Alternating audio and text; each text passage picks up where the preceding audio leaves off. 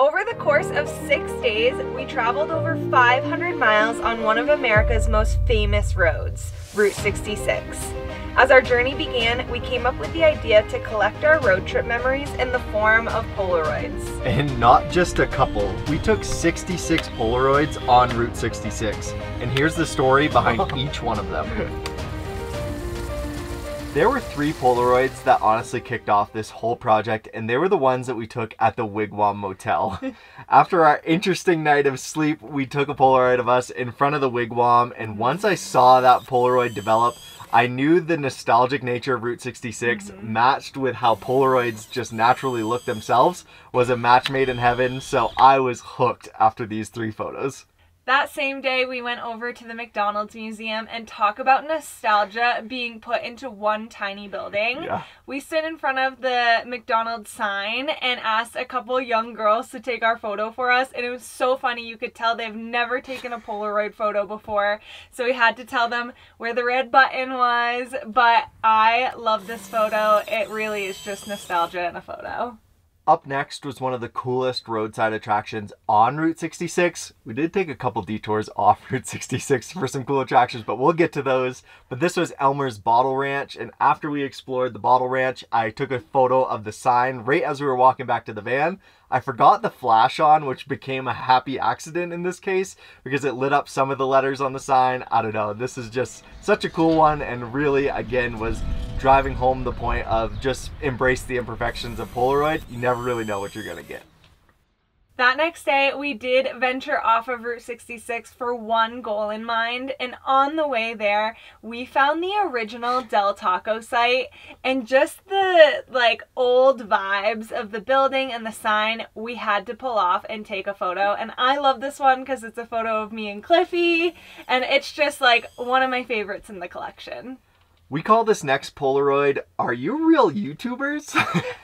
we were exploring an abandoned water park just off of Route 66, and once we walked in, we were walking around and we stumbled across some other people who were exploring the park. It happened to be a father and daughter, and we asked them to take our photo in front of the old abandoned water park sign.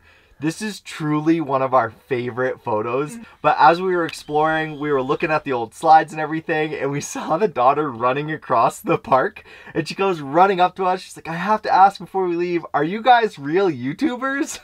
this is the first time that has ever happened to us. We certainly don't feel like real YouTubers. Mm-hmm. We'd love to be, but we're not quite there yet with the channel. But I don't know, that's just a memory I'll never forget, and it's associated with this Polaroid. So yeah, thanks again for taking this one, guys. Once we left the water park, we found our way back to Route 66 and we were headed towards the Amboy Crater. One of our goals while we were on this trip was to take more Polaroids of the van, Coco. We know we're not going to own Coco forever, so we just wanted to make sure we had photos of her on film so we can have those memories forever. So this first photo is Coco parked in front of the Amboy Crater and it looks like it's parked in front of a big ant hill.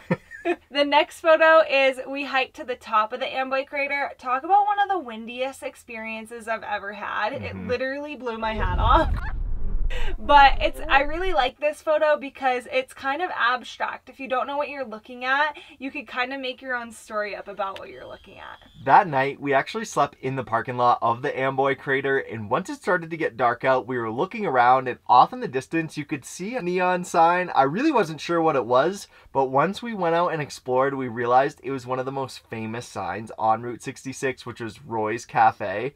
They've actually restored this sign so the neon is super bright. So mm -hmm. when we mm-hmm. got down there, we had lost the sun. It was definitely getting dusk. So this was our first shot at taking Polaroids at night. The first couple didn't come out perfectly, but as we were walking back to the van, I was walking underneath the sign. I looked up and I thought, mm, I might just take one more before we head back. I pointed the Polaroid up and snapped this photo, and it's truly one of my favorites. Mm-hmm. Probably gonna say that about 10 times in this video. but just the way the colors are against like the blue of the sky, mm, chef's kiss. And then the next day, as we were heading out of town, we had to stop and take one more Polaroid of the Route 66 sign in the road with that sign in the background. This is just such a cool stop. I'm so glad that we were able to go at night and see it during the day. That same day, we drove to Goff Schoolhouse. And while we didn't get the photo of the schoolhouse itself, we did find so many interesting things on the grounds. Yeah. The first thing was a school bus with a bunch of bullet holes in it, but it's one of those like retro school buses. It kind of reminded me of the Magic school bus or the school bus in Halloween Town. So we had to get a photo of that after I took that photo, I turned around and I could not find Cody or the dog. I was like, where are they? And I found them sitting inside of an old rusty truck. And I feel like I we had to take this photo. Cody's dad has restored an old rusty truck in the past, so Yeah. there's so many memories correlated to it. So we snapped that, and on our way out, we wanted to pull the van under. They had a big sign that said study the past, and not often does our van fit under arches or signs, so we had to grab that as we were headed out. As we continued down Route 66, I would stop anytime anything caught my eye, and that brings us to the next two Polaroids. These were two signs that we saw right alongside the road. The buildings weren't picturesque anymore, but the signs were still there in the condition, so they certainly looked the part. I just had to take the Polaroids of them. Then we officially made it to Needles, California, which is known as one of the hottest towns. And we can agree it was boiling there. The first photo we took we call Hidden Cliff because we found this like really tall sign and I was like, oh my gosh, what if we put Cliffy up standing up top so he'll be like right where the needle sign is and I don't know the way the shadows hit, you Yeah. cannot see him at all. Nope. So it's just so funny. It took me so much might to get him up there and push him up and make sure he stayed safely. And after all the work, you can't even see him. After that, we found a mural that said Route 66, and we really wanted a photo with all three of us standing in front of it. And this is the first photo that started the conversation between Cody and I of like, imperfection is perfection in this project. and just made it so much more fun to just embrace what we get with the Polaroids instead of trying to shoot per- for perfection like we normally do with a big camera and do edits and all that kind of stuff. So it really unlocked something and kind of changed the rest of the trip.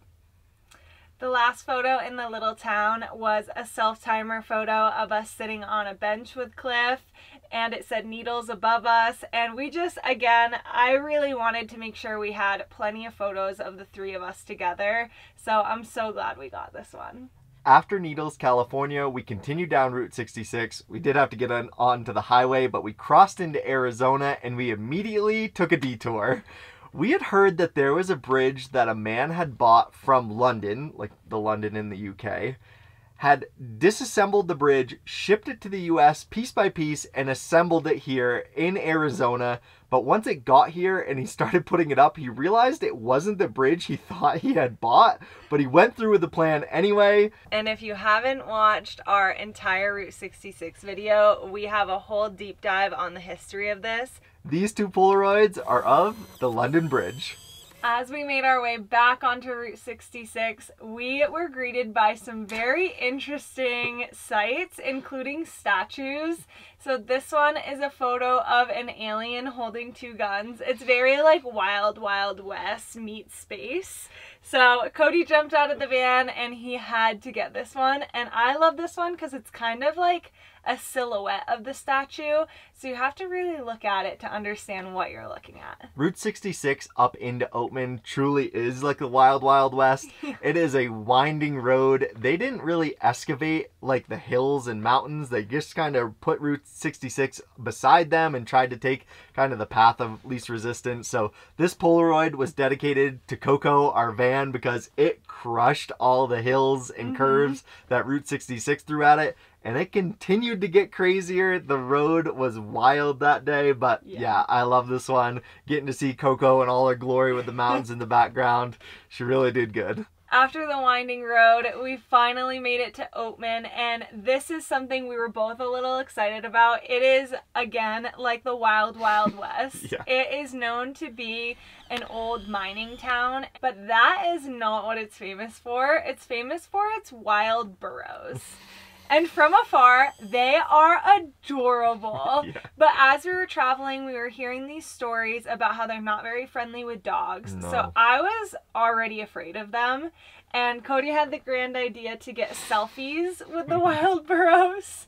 So I went up, tried to get a selfie, and something that happened was people had food bags that were like a tan color, and it just so happened that my purse was the same exact color and size. and so as I leaned in to take this selfie with the wild burro, it tried to eat my purse and it was like pulling on my purse and I'm pulling back yelling my bag, my bag. I was mortified, so I ran away without a photo. But Yeah. thank God Cody went in and redeemed us. He got an amazing selfie, and I just think this is the funniest photo from the whole trip. Two jackasses in one. After Oatman, we drove one of my favorite stretches of road on Route 66. It was called the Sidewinder. It's 191 turns in the course of 8 miles with no guardrails as you literally climb up over a mountain and then down the other side. So once we completed all of those turns, we saw a sign that essentially said like you conquered the Sidewinder. So we had to pull over and stage the van so she could have her glory moment of conquering the Sidewinder. right across the street from the Sidewinder sign was Cool Springs, and it was just a little shop, and in front of it had a little Route 66 sign right on the road. So we went in and bought a Route 66 root beer and did some shopping, and the photo is of me holding the root beer. And once again, we left the flash on on accident. so it's a little bright and not perfect, but again, embracing the imperfections. Yeah. Up next is Neon Sign Night. this was such a cool memory.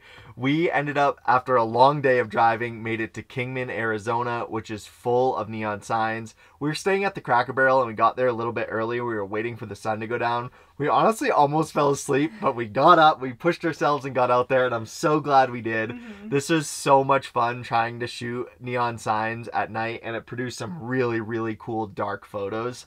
And one of our favorites was the Kingman is for lovers sign. Yeah. It was one of the newer neon signs, and you could tell because the colors are so vibrant. But yeah, it was just one of the coolest neon signs that we saw along the trip.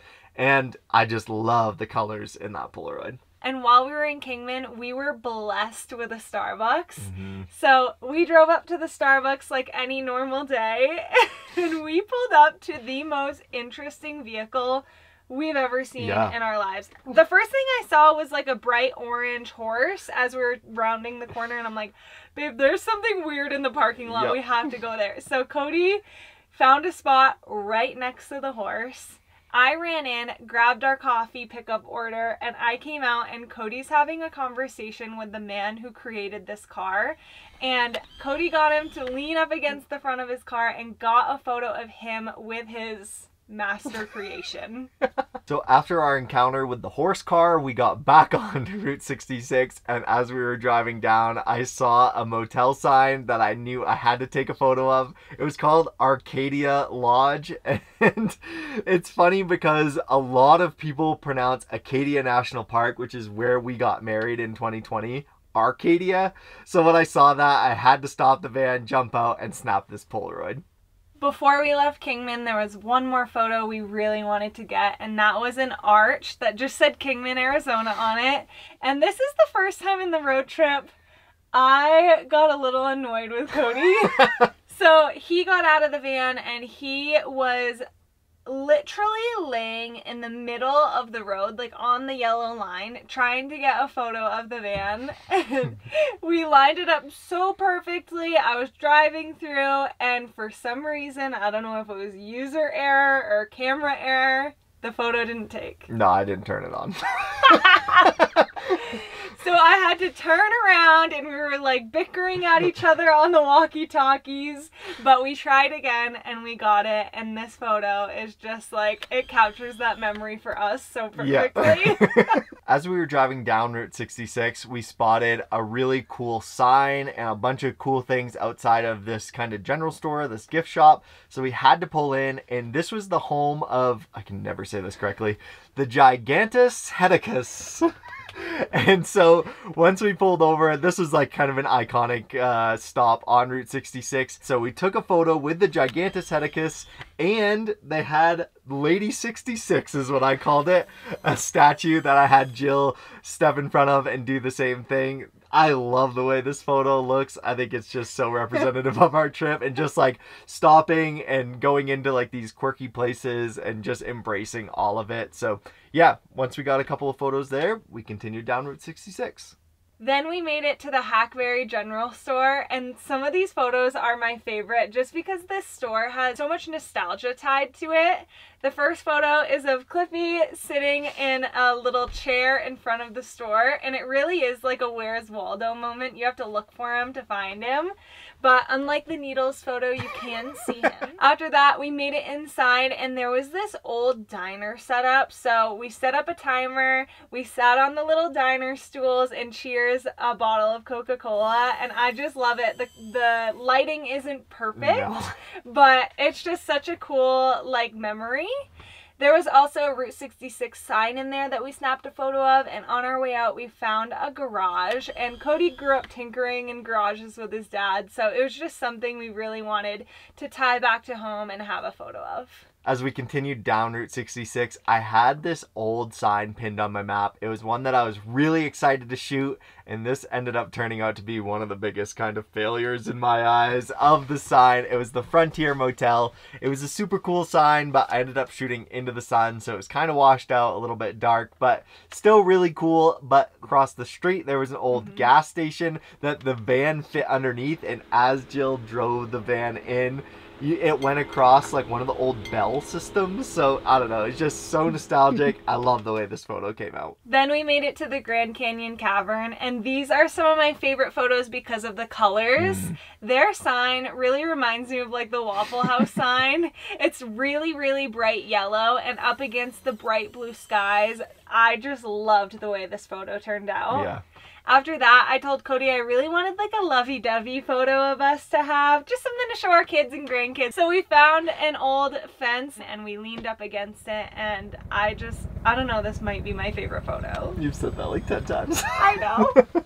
After that, we made it into the town of Seligman, and once we pulled in, there was a massive Route 66 sign, so we had to run up and get a Polaroid of us standing in front of it.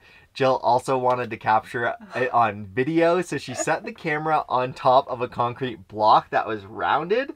So we set the self timer, we ran up to the sign, we took the photo.